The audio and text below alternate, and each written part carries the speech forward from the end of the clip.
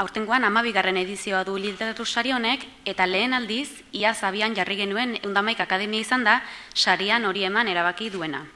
Beraz, gehiago luzatu gabe, eundamaik akademiak hartu duen erabaki horren berri emango digun ekitaldiari, hasiera emango diogu. Egunon, andoa indarrak, egunon akademiakideak, egunon guztioi. Post eta txegin ez nator gaur andoinera Eusko Jaularitzako kultura sailaren izenean 2000 eta zazpigarren urteko betarriko liburua zein izango den ezagutzera emateko Euskal Literatur Zaleen eundamaik akademiak antolatu duen ekitaldi honetara. Aurten, amabigarren ez, errepikatzen da liturgia ubera, aditzera ematekoa zein izan den irakurlei urtebeteko euskal literaturgintzaren ustatik gogokoen gertatu zaien obra. Eguardion guztioi, eskerrak ematen hasi nahi dut Manuel Larramendi kulturbazkuneko arduradun eta kide guztiei, berriro ere aukera eman diguzulako Gipuzkoako foru aldundik ordezkariei gaur hemen egoteko. Joan den igandean, gertakari handi bat izan zen Nafarroako sartagudan, bertan zabaldu baitzuten Euripean eta Malkopean oroimenaren parkea, Nafarroan, Gerra Zibilaren garaian eta ostean, fusilaturik iltzituzten irumila lareun da hogei lagunen oroimena esnarazi nahi duen parkea da. Duintasunaren parkea. Sartagudak oroimenaren parkeak zerikusi handia du gaur hemen saritzen ari garen liburuarekin. Deno dakizuen bezala, liburuaren atal nagusitako batek gai hori baitu.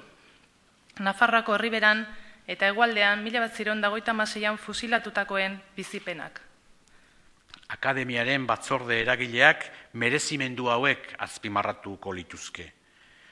Egileak euskara zuzen eder eta ulergarria darabil, irakurketa plazer bihurtuz eta irakurleari liburua gau, e, gau maian ustea eragotziz.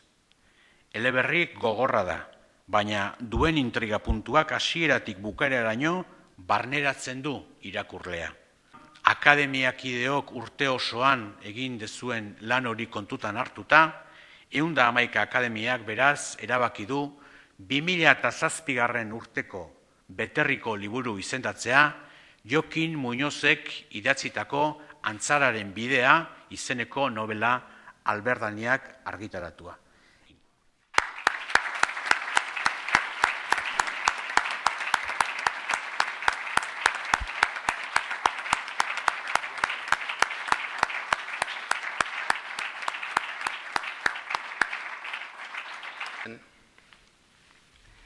Egun hauetan, San Cristobal mendian, ezkaba mendian, iruñan, iloi batzuk aurkitu dituzte, hane San Cristobal ezkaba mendian preso izandako batzuen eh, gorpuak ziren hoiek, eta oso deskurimendu kuriosoa bitxia izan zen, ze gorpu batzuen ondoan, hankartean, kristalesko botella batzu zeuden, barruan paper bat zeukatela. Paper horietan hildakoaren izen deiturak eta beste hainbat datu agertzen ziren, sorterria eta bar. Paper gehienak demoraren e, poderioagatik desegiten ziren e, aurkitzaien eskuetan. Kortsoa gaizkitsita zeolako, edo kortsoa besterik gabe usteldu eta barruko paperare kortsoarekin e, batera usteldu egin zalako. Beste batzu berriz irakurri izan ziren, ze testu horiek irakurriak izateko sartu zituzten botella horietan.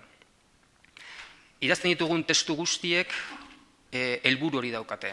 Testuak ez dira zer irakurrerik gabe, irakurriak izan gabe. Baina bereziki boteian sartuta zeuden testu horiek, paper horiek, hortarako jaio ziren. Enuke jarruntzu hau e, bukatu nahi, zuei e, eskerrak e, gabe, eskerrik asko, sariagatik, eskerrik asko, akademiari baita ere, liburu bati benetan arnasa ematen diona baita e, irakurleen e, onespena. Esker mila, guzti hori.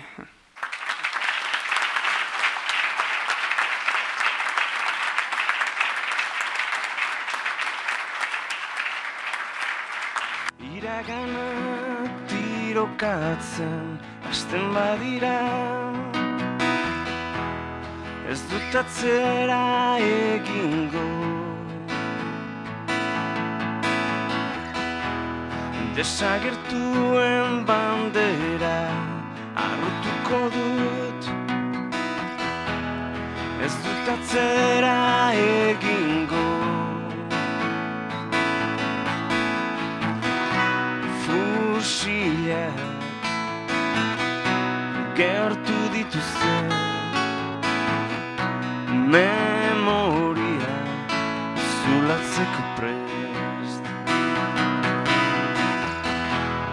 Galtzailenak indutara Biarriko naiz. Ez dut atzera egingo.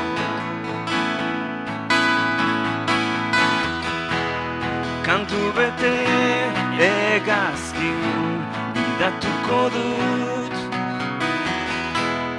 Ez dut atzera egingo